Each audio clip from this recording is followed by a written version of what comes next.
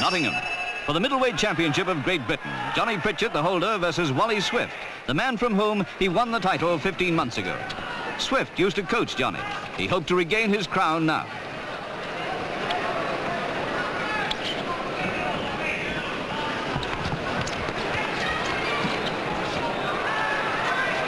Promoter at the ice stadium, Reg King.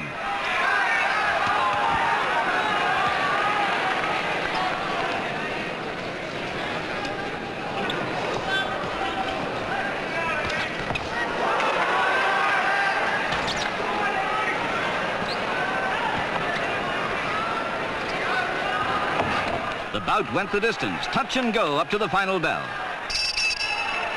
There was so little in it that many fans disagreed when referee Wally Thom declared Pritchett the winner.